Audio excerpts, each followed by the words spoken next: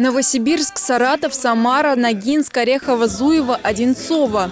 На ежегодном всероссийском фестивале «Гармонь» собирает друзей собрались ансамбли из разных уголков России. Задача была такая, чтобы объединять вот эту вот э, культуру русскую, понимаете, потому что очень много, э, вот по гастролям мы ездим часто, очень много в деревнях э, самородков таких, которых не увидишь нигде.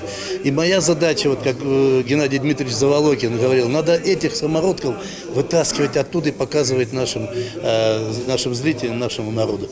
На празднике выступили лауреаты и дипломанты российских и международных конкурсов, народные гармонисты нашей страны и многие другие. Фестиваль проводится уже в 17 раз.